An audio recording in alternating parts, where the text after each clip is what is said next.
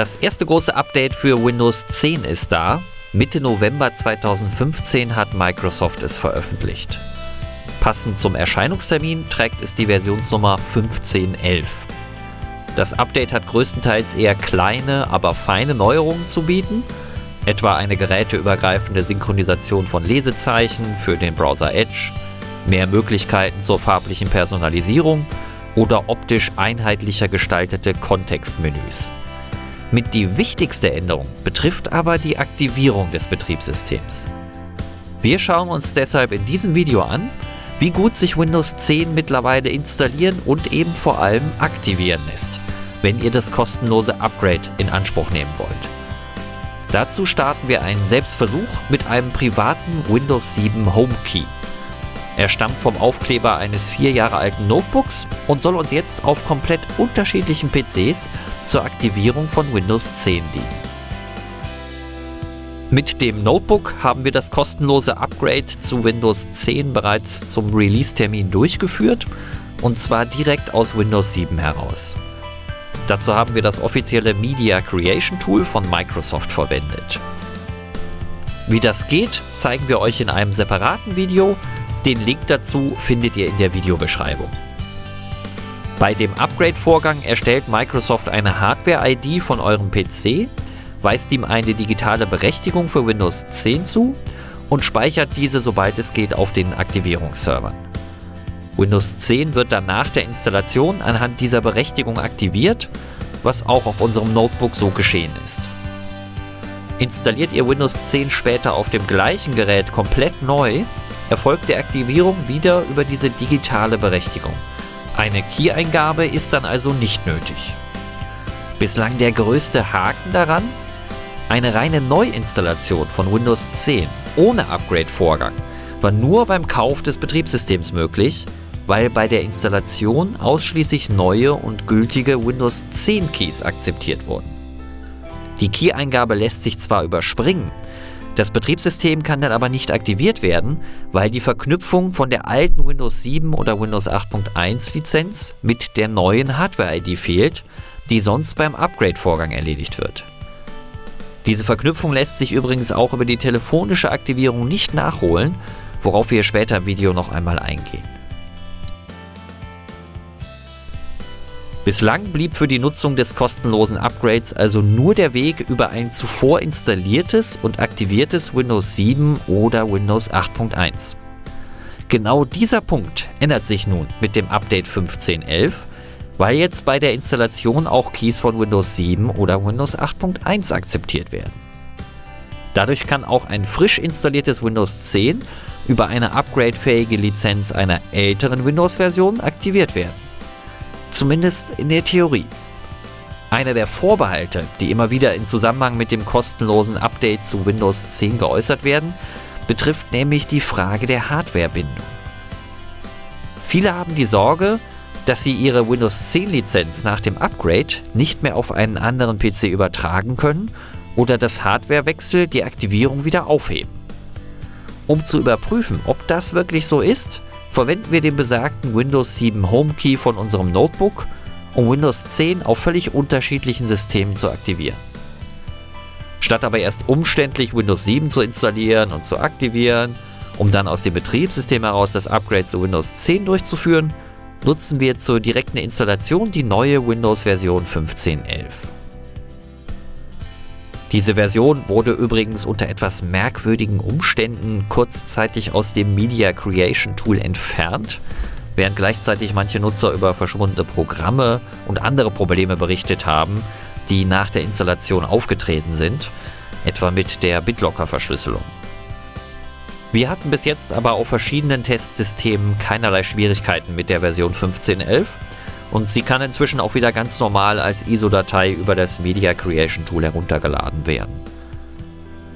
Genau das haben wir hier getan und mit dem Tool einen bootfähigen USB-Stick erstellt, über den wir jetzt die Windows 10 Installation auf einem Desktop-PC durchführen. Und siehe da, der Windows 7 Home Key von unserem Notebook wird wie versprochen schon während der Installation akzeptiert, auch wenn wir darauf etwa 50 Sekunden warten müssen. Ungefähr eine Viertelstunde später bekommen wir zum ersten Mal den Desktop zu sehen. Mangels passendem Grafikkartentreiber ist das Bild wie bereits während der Windows-Installation recht niedrig aufgelöst, da werden wir uns aber gleich drum kümmern. Vorher öffnen wir noch die Systemsteuerung und stellen dort fest, dass Windows 10 auf unserem Rechner mit Core i7 569X Prozessor nicht aktiviert ist, weil bisher noch keine Internetverbindung bestand. Das haben wir kurze Zeit später geändert, um ein paar Treiber und das Tool HW Info zu installieren mit dem wir hier einen genaueren Blick auf die Hardware werfen. Der Rechner besteht aus besagtem Core i7 569X Prozessor, der auf einem MSI Mainboard installiert ist. Als Festplatte nutzen wir eine Samsung SSD mit 512 GB. Die Grafikkarte ist eine Radeon R9 290X und beim Arbeitsspeicher handelt es sich um zwei DDR4 Module mit jeweils 4 GB Kapazität. Mit der Hardware des alten Notebooks hat das rein gar nichts mehr zu tun.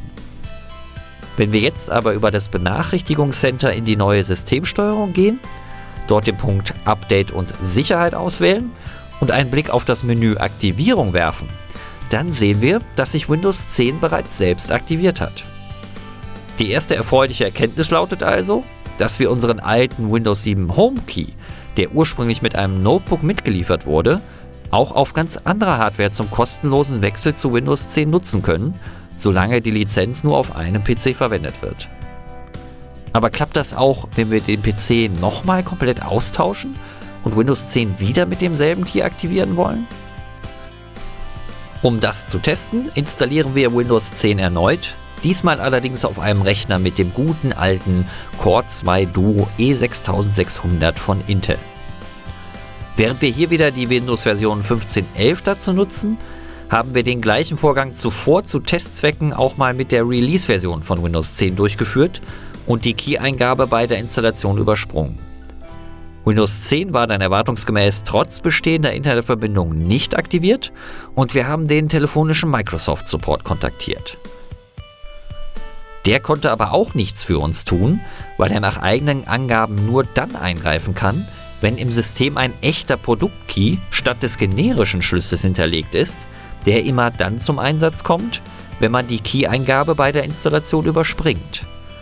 Mit der Release-Version lässt sich eine komplette Neuinstallation von Windows 10 also nur dann aktivieren, wenn wir das Betriebssystem neu kaufen und einen passenden Key haben.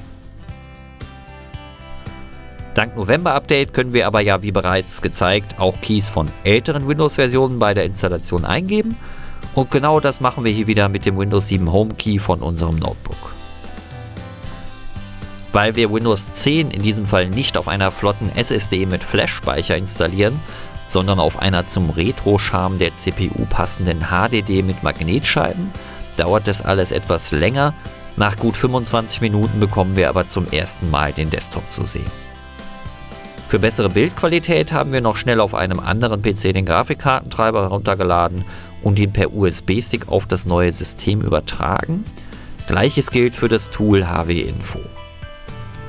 Darin sehen wir den schon erwähnten Core 2 Duo E6600 Prozessor, der auf einem Mainboard von Zotac installiert ist. Die HDD stammt von Samsung. Bei der Grafikkarte handelt es sich um eine in die Jahre gekommene GTX 470 und der Arbeitsspeicher besteht aus zwei DDR3-Modulen mit einer Kapazität von jeweils 2 GB. Per Infocenter wechseln wir jetzt wieder über den Punkt Update und Sicherheit in das Menü zur Aktivierung von Windows 10 und sehen, dass sie mangels passender Internetleitung noch nicht erfolgt ist, weil die Windows-Aktivierungsserver nicht erreichbar sind. Also schnell das Netzwerkkabel wieder einstecken und auf die Identifizierung warten. Und wenige Sekunden später ist der PC auch schon wieder aktiviert. Mit dem Magical Jelly Bean Keyfinder werfen wir noch kurz einen Blick auf den im System hinterlegten Schlüssel. Das Betriebssystem ist natürlich Windows 10 Home. Beim Key handelt es sich um eine generische Variante, die wir deshalb auch nicht unkenntlich machen müssen. Über die alte Windows 7 Lizenz hat also auch dieser PC eine digitale Berechtigung zur Nutzung von Windows 10 erhalten. Ein individueller Key wird dagegen nur dann im System hinterlegt, wenn ihr Windows 10 außerhalb des Windows Stores neu kauft oder wenn es beim Kauf eines PCs oder Notebooks mitgeliefert wird. Für den letzten Test haben wir bei unserem Retro-PC noch fleißig Komponenten ausgetauscht. Das Betriebssystem wurde auf eine SSD geklont, die GTX 470 von Nvidia wurde durch eine R9 270X von AMD ersetzt und wir verwenden jetzt 8 statt nur 4 GB Arbeitsspeicher. Am Aktivierungsstatus des Betriebssystems ändert all das aber nichts. Und genau so soll es sein. Unserer Erfahrung nach ist es also problemlos möglich, ein per kostenlosem Upgrade erhaltenes Windows 10 auf einen PC mit völlig anderer Hardware zu übertragen oder Komponenten am bestehenden System auszutauschen, solange die Upgrade-Lizenz nur auf einem System gleichzeitig genutzt wird. Warum Microsoft jetzt erst die Möglichkeit dazu bietet, Keys von älteren Windows-Versionen direkt bei der Installation einzugeben, ist uns allerdings nicht ganz klar. Sei es drum, das November-Update von Windows 10 hat den kostenlosen Umstieg definitiv vereinfacht und es ist erfreulich, dass unser alter Windows 7 HomeKey alle gezeigten Hardware-Änderungen anstandslos mitgemacht hat. Spieler können den Wechsel zu Windows 10 aber immer noch guten Gewissens ein paar Monate nach hinten verschieben, weil für sie das Hauptargument dazu DirectX 12 Spiele wie Deus Ex Mankind Divided sind und die lassen schließlich immer noch auf sich warten.